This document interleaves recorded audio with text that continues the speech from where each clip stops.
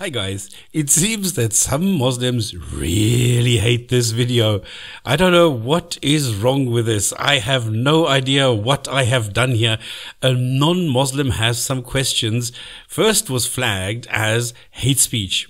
I took out everything that could remotely be considered to be hateful. I took out everything and I applied softener to the whole thing and I resubmitted it.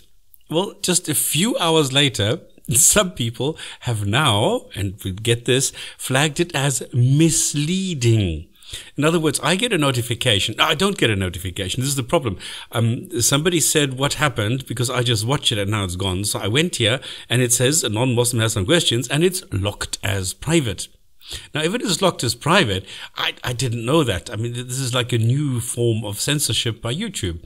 And I looked, well, videos locked as private, we believe in addressing abuse in ways that can create real positive impact while also making the site great for creators and viewers. This is such bullshit. If your video is identified as violating our policy on misleading metadata, Okay. Misleading metadata. Metadata is the title, the description, or the tags. And this is why it will be locked as private. So some Muslim apologist has gone and said, well, I think it's misleading. I don't think it represents what it should be, and therefore it should be flagged. And now it's set to private. So I must have touched a nerve somewhere that people cannot handle the truth. They cannot handle reality. So what they're doing is they're saying, we need to get rid of this video. We need to silence this. On the other hand, there are people who, I mean, I, I don't know how this works, but somebody on the channel of this official Speakers Corner channel, and Abu Ibu said, Salam, brothers, are you deleting comments? There's a video out by an atheist claiming you're deleting comments on the video and he provided proof in the video. Now, if this is the case, you might be tempted to delete my comment too. Can I urge you, though, to address their comments instead of using the hide this user and so on? It's far better to have a continued debate on the comment section. So he says we need to help guide people instead of just silencing them. Many non-Muslims may watch this, but they may not initially believe what you say and go into the comments to look at people who have disputed your arguments. But if you counter that logically and sensibly, it goes a long way. So, and then he concludes, if we hold the truth, then we shouldn't be afraid of non-Muslims non-Muslim comments that are critical. And I agree with that. That's exactly my point. So this seems to be another Muslim who is asking official Speakers Corner channel, hashtag Dawa, why they are doing that. And now here's, and this, this, uh, this beats it, right? They say now we filter all comments for profanity, etc. And sometimes we see a lot of rude comments. Now, remember what I said. And I wrote this twice. Uh, same thing, and both were removed. There's no profanity here. What I say is nonsense. Lot, Noah, Jesus, all different, very different. Because that was the claim they made that they're all the same. They're not. If the two books have similar stories, why should anyone believe them? So I'm asking a question. And then I say the Muslim, and now referring to this Haman that he quoted, that he, that he claimed exists, the Muslim simply lies. Unashamedly. No, Haman is not mentioned anywhere in Egypt, and least of all on the Rosetta Stone. And that's a fact. Okay, that's the truth. That's reality. And then why would he ask how Muhammad knew that? Did Muhammad author the Quran? So there's two or three whatever statements and three questions. There's no profanity. There's nothing here that is rude. And yet, official speakers corner says, well, we may do a mass delete also sometimes to clear up a backlog of comments. We may also do a mass delete due to spam. Well, my channel is called Stop Spamming. Hmm. Then somebody says, of course, they delete critical comments. Are you surprised? Skeptics commenting on any Dawa video don't actually expect their comment to remain. And again, official speaker's corner answer, and this, ah, this, the hypocrisy is amazing. We do not delete comments. We have to clear comments for publication. So sometimes you can have a hundred comments to clear in half an hour, and as such, if a majority are profanity, etc., we will generally just do a mass delete. We are now deleting the profanity laden comments and then just doing a mass approve instead. Now, this is another lie because, and I have added this as a, as, as a screen capture, this is what I have received as a message from them. So don't believe anything they say.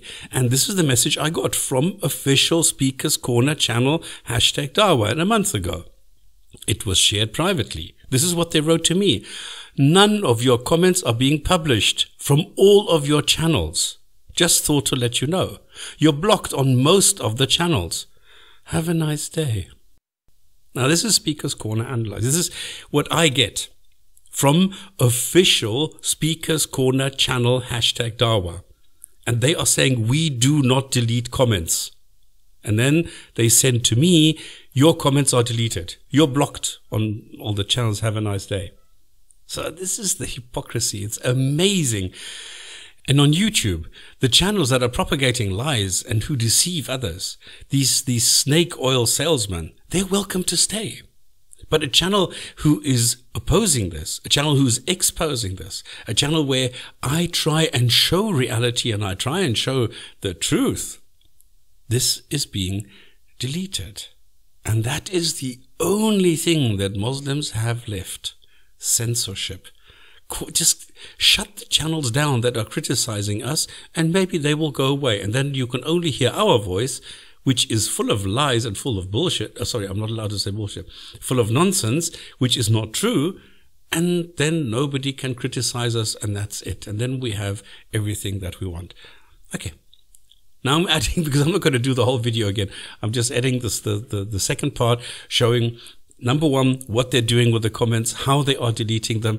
And the second thing is, no, there is no Haman anywhere in hieroglyphs, anywhere in Egypt least of all on the Rosetta Stone, and I'm explaining all this. Okay, guys, have fun. Hi, guys. I have to redo this video as scared Muslims have decided to attack me instead of those who lie and deceive. And as someone gloated and told me my video was taken down due to hate speech, and since Google does not state why a video is removed, we now know that they simply false flag a video they don't like as hate speech. And then YouTube takes it down without checking or doing anything about it. So these scared Muslims, they have to apply tricks and fraud to silence the truth. Okay, so I'm going to redo it. I will not voice my opinion freely. I will not express my disgust, and I will not call the disgraceful, dishonest guy an asshole this time and just present the truth. And if you didn't get it, that was satire. okay. Okay. I'm going to spend, you know, just a few minutes looking at a channel called Official. It's, it's, it's official. I don't know what they call it official. Official Speakers Corner channel and then a hash and dawa. I mean, dawa is Arabic, which means tell people a story that will somehow get them to join the club of Islam. And it's all in capital letters, of course, because capital letters are much more important. The example I will use here is a video called A Non-Muslim, I have problems reading when it's capital letters. A non-Muslim has some questions, hashtag Quran, Leicester Square. So uh, what I'll do is I'll take a quick look how they do and then what they do. So if you watch a video on, on Google, on YouTube and hear something that is wrong, you write a comment and correct the mistake. Well, at least I do. And I hope that the person or the people who made the mistake will learn from this and avoid this in the future. And that's what I did. I also try and point this out to others watching the video that there is a problem here and that they should look into this before accepting everything at face value. Here, however, on this channel, things seem to work a bit differently, as my comment shown here suddenly disappears when I'm not logged in with my own channel name. And I made sure the sorting is set from top comments to the more realistic newest first. And that's how you can compare the two views side by side and you can immediately appreciate that my comment has been removed from view. And it says, if you look it says 11 comments. Yet when you count the comments, only nine are visible. Two are removed from view. And what a coincidence. I made two comments with two different names. Uh, granted, critical comments when I tested this, pointing out the dishonesty. They're gone. Poof. So the people running this channel, they're cowards. They are so afraid of me and my words. This is just words, okay? I'm, I'm just using words. I'm not threatening them. There's no hate here. I'm just pointing out that it's dishonest. And they are so afraid of this that they need to block me so that I'm unable to express my opinion on what they're doing. And I can't inform others of their deception. Now, in the intro, you can clearly see the word comment. But if you do and you're honest, your comment is removed. It's hypocrisy at work, just so that Islam can die a bit slower. But the video itself is actually quite interesting because it shows how blatantly some Muslim apologists lie and deceive others. It shows to what lengths they will go to get their fangs and claws into a non-Muslim if they think they can convert them. It's, it's actually quite pathetic. So let's take a look at the contents of the video I'm taking as an example. If you're a Muslim, please listen to what I'm saying. Try and appreciate why I am doing this and why you are hearing this. I'm not the one making the claims. The Muslim is making the claims, not me. I'm reacting to the claims because he makes many claims, all right? Claims which are obviously false and complete fabrication. And he knows it because that's why I am blocked. So I can't show reality and demonstrate how dishonest this Muslim is and what the reality actually says. So he starts off with if you look at the Rosetta If you look at the Rosetta Stone, when the hieroglyphics were uh, finally deciphered. And just as a quick background, the Rosetta Stone he mentions does exist. Yep, it does. And it's, it's got a text on it, a text in three languages, which enabled experts in the field to take the words one by one and assign them to hieroglyphs, because Egyptian hieroglyphs was one of the three languages. And they had not been decoded or deciphered 200 years ago when the stone was found. Now, where you don't need to be an expert is reading translations of the text on this Rosetta Stone. It's a decree of a king. The Muslim claims that when they found the Rosetta Stone, they looked for the employees of the Pharaoh and or Pharaoh. I never know if Pharaoh is the real explanation. Pharaoh is the new modern way. I don't ever know which way to use it. So the Pharaoh, and there they found the name Haman, as mentioned in the Quran. Look at the Rosetta Stone when the hieroglyphics were uh, finally deciphered, and they look at the role of employees for Pharaoh Haman was there. And this is what I find so despicable. It's such a, a blatant and outrageous lie. It makes my blood boil. The way he says it, it implies that the name and profession of Haman is found on the Rosetta Stone. It's not. It is beyond me how he can look at himself in a mirror, but he doesn't stop there because if he did not mean to say that Haman is found on the Rosetta Stone, he definitely says there are hieroglyphs which mention this Haman, his profession, and his close affiliation with Pharaoh. Just Pharaoh, not a or one of them, just Pharaoh. Now we have the hieroglyphics confirming there was a chief builder yeah. called Haman. Whatever. It does not exist. It's a lie. Now, how can I be polite about being a, a lie? Can I, can I be, uh, well, it's not actually quite resembling the truth. No, it's a lie. Okay. So if I'm not allowed to say that something is a lie, I don't know where we are. You need to prove that this is true. And if you can't prove it's, it's not there, it doesn't exist, then please don't say that it exists. Now, I've gone very deep into this and looked at this and I found that it's a lie. There is no such thing. It is not true, which is why he does not say where and how and just makes the general claim.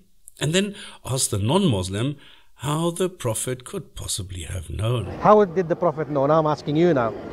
Forgetting the PBUH and shifting the burden of proof to the one not making a claim.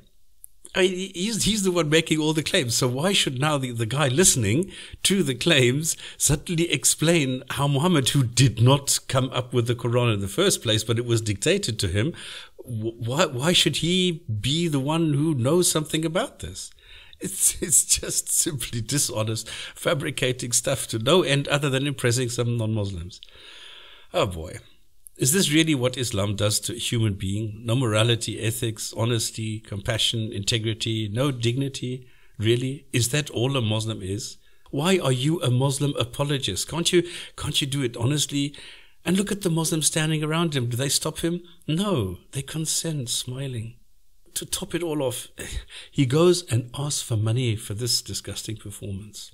Now, as a non-believer, I, I don't think I could live with myself being such a liar, and I would consider myself a criminal. The Muslim here happily continues and cheerfully adds some more lies and still asks for money for this. Never a worry.